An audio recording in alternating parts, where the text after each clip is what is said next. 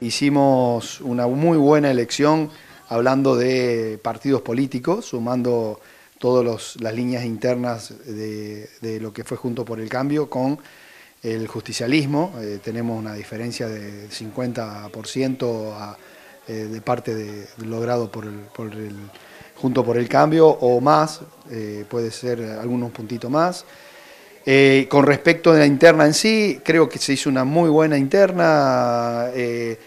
Negri, eh, en el cual yo era lo que estaba representando, el espacio que estaba representando, sacó una cantidad de votos muy importante acá, estamos a 9 puntos, 10 puntos más o menos de, juez, así que creo que se hizo una muy buena elección porque tengo entendido que extraoficialmente en la provincia sería mayor la diferencia. Esperemos que los candidatos estén ahora, por supuesto, van a tener que hacer su su duelo el que perdió y después empezar a, hablar y conformar la lista que va a ir a competir en noviembre y bueno, vamos a estar todos encaminados y, detrás de, esa lista, ¿no? Eh, creo que es lo que corresponde, es eh, hacer caso de lo que realmente la gente ha decidido y, columnarnos todos atrás de esto. Eh, quien apoyaba el intendente de Morteros, sabemos que siendo gobierno por ahí el apoyo es mucho más, eh, está mucho más fortalecido.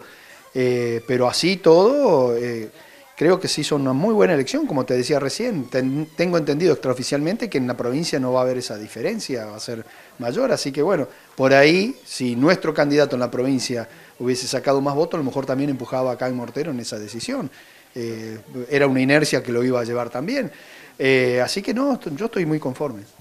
¿Esto a nivel eh, provincial crees que no va a debilitar el partido y lo puede fortalecer de cara a las próximas generales? Y ya lo veremos, ya lo veremos. Yo eh, siempre pregoné que la lista nuestra era la que por ahí más candidatos podía llegar a poner para eh, competir y, poder asumir en, las cámaras alta y baja de la nación.